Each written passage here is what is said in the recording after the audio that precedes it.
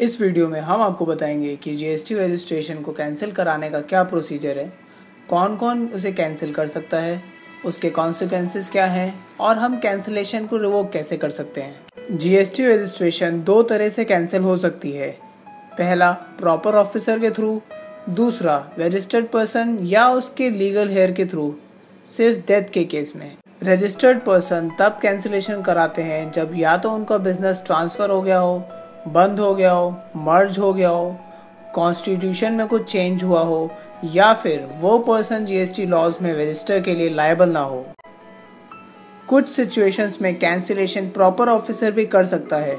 जैसे कि अगर कोई रजिस्टर्ड पर्सन रूल्स को वायलेट कर रहा है, या जो पर्सन कॉम्पोजिशन स्कीम में है, उसने कंटिन्यूसली तीन मंथ से रिटर्न फ़ाइल नहीं करी हो, या एक रजिस्टर्ड पर्सन जिसने कंटिन्यूसली सिक्स मंथ से रिटर्न फ़ाइल ना करी हो या रजिस्ट्रेशन किसी इलीगल मीन से ली गई हो, जैसे फ्रॉड एक्सेट्रा जीएसटी रजिस्ट्रेशन को कैंसिल कैसे करा जाए?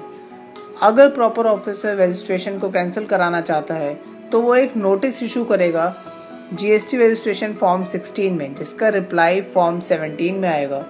अगर एप्लीकेशन एक्सेप्ट हो जाती है तो फॉर्म 18 में एक ऑर्डर पास होगा और प्रॉपर ऑफिसर उस रजिस्ट्रेशन को कैंसिल कर देगा और आपको इन्फॉर्म कर देगा।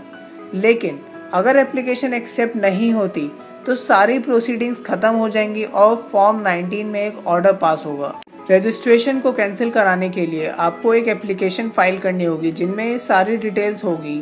जैसे कि उस डेट तक की लाइबिलिटी पेमेंट की डिटेल्स ज़रूरी डॉक्यूमेंट्स इनपुट और कैपिटल गुड्स जो स्टॉक में है। लेकिन वॉलेंट्री रजिस्ट्रेशन के केस में कोई भी एप्लीकेशन कंसिडर नहीं की जाएगी रजिस्ट्रेशन के एक साल तक। जीएसटी रजिस्ट्रेशन को कैंसिल कराने के कुछ कॉन्सिक्वेंसेस भी होते हैं। जैसे कि, ये पर्सन की लाइबिलिटी को अफेक्ट नहीं करता।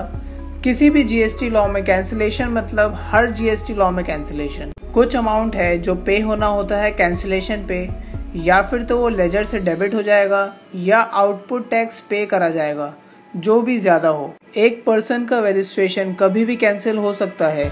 अगर वो पर्सन या तो बिज़नेस अपने बिज़नेस प्लेस से नहीं करता हो, या वो इन्वॉइस इशू करता हो बिना किसी गुड्स और सर्विसेज़ की सप्लाई के।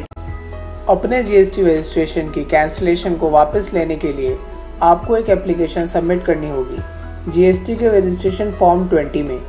और अगर प्रॉपर ऑफिसर को भी कोई क्वेरी होगी तो एक ऑर्डर पास होगा फॉर्म 22 में। एंड आपको रिप्लाई करना होगा अगर आपकी एप्लीकेशन एक्सेप्ट हो जाती है तो फॉर्म 21 में एक ऑर्डर पास होगा।